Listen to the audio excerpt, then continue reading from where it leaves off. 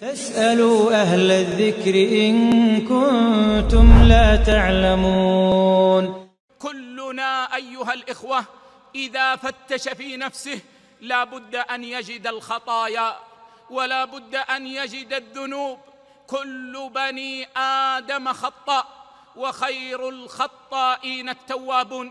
فلنكن صادقين مع أنفسنا ولنتب إلى ربنا سبحانه وتعالى. وإن الله عز وجل يفرح بعبده إذا تاب إليه ويتوب عليه ويغفر ذنبه بل ويبدل سيئاته حسنات.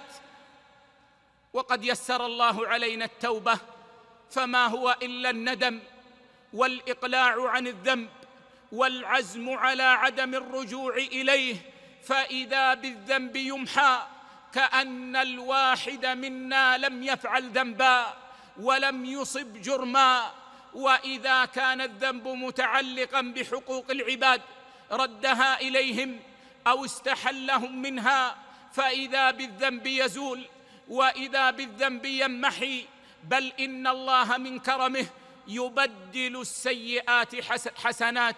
والله الذي لا إله إلا هو إنه لا يهلك على الله إلا هالك.